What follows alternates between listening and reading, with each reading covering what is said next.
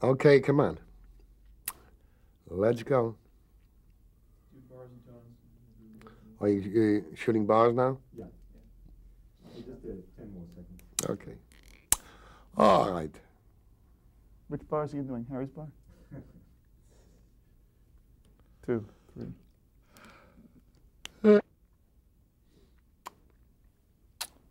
Mel Brooks. Mel Brooks is a funny, funny, funny, funny man and a genius. They were all, all geniuses because, you know, to, to be able to, under that pressure, to come up with the. I remember he came up with one line. He always was late. He was always late. Every time he couldn't couldn't be on time. I don't know what it was. It's a it's a sickness.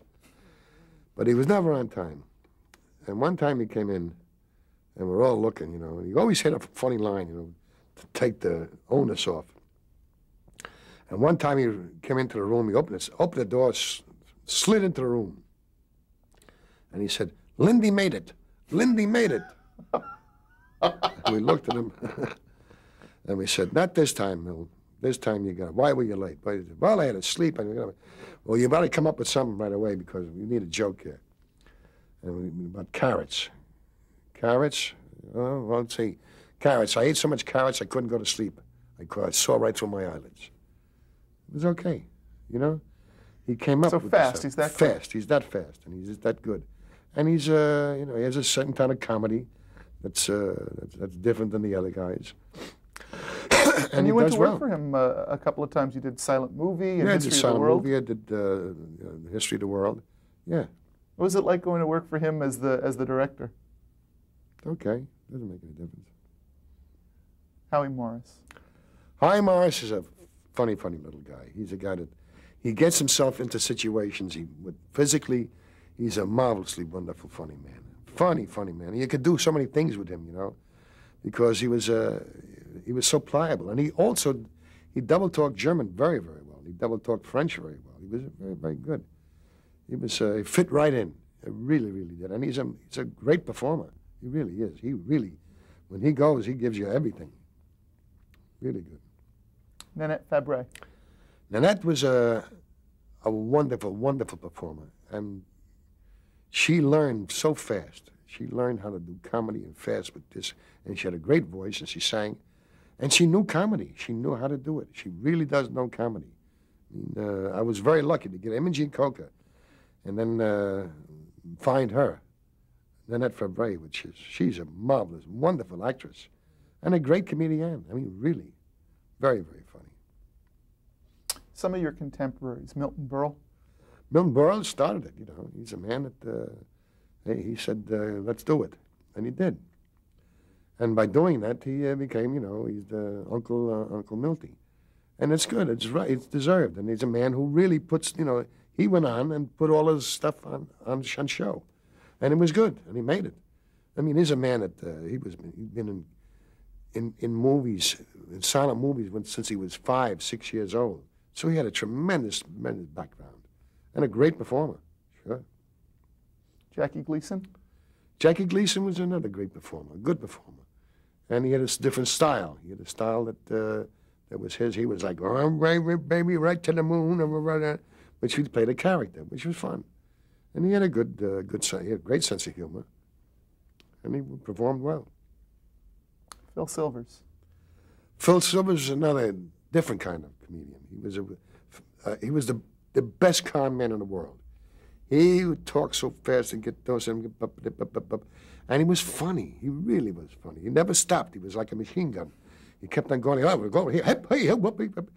And he had his own style. He was very, very funny. I mean, a really funny man. Ernie Kovacs. Ernie Kovacs was a, an artist. He truly was. He would paint pictures, you know, and uh, I remember one time he did a satire of the Lux Video Theater, you know, where they had the very big guys in tails and the big timpani drums. And they had the guy standing with the timpanist, you know, in tails and and the white, you know, the white drum, the white timpani drums, and bump, bum, bum, bum, bum, bum, and it was all flour, flour and water. Great sight gag. Great, great sight gigs. And he had a guy named Percy. He put this mask on him, Percy. Very, very funny. Great, creative man. Very creative man. Really a genius. talk about just a few other people touched your life personally. Your brother Dave. Dave was the closest person outside of my wife. He was so precious, so good. He was the, the world's best brother. You couldn't ask for anything better. He was for me a hundred thousand percent, a million percent. And I didn't appreciate him at the time, you know. I did, you know. I, I was always with him. I was with him for 73 years. I had him. And then So many of the people who worked on the show with you spoke so fondly of him. Dave, Dave was, as I said, much, much funnier than I was. He was funny. He really was. He wrote. He, he and I wrote the, the airplane number. And he would be in the writer's room. Oh, yes, he was in the writer's room. He was with me all the time. He was always there. He was always there. When I got in trouble, he was there. I mean, when if I went anybody and I got, uh, I, I got in trouble, he would come, no matter where I was. You know, he'd drop everything and he'd, he'd come to me. And I was, and that was like he was my father. He really was. Well, you say he was the closest person to you outside of your wife. That's right. Why don't we then end on uh, you talking just a little bit about you and your wife Florence? If it wasn't for Florence, my wife, I would not be here today. And that's the truth. I was so crazy, and she put up with so much insanity. And the way she handled me, and the way she, she, uh, she got me to do things, and got me to get on things, got me to, to stop this and stop that and stop this, and, and with patience of a, of a saint, truly. And uh, once you know, once you make friends with your wife, uh, is your best friend in the world, and my dearest, my dearest friend. Sid, thank you so very much for, My pleasure. for all this time. Thank you. Thank you.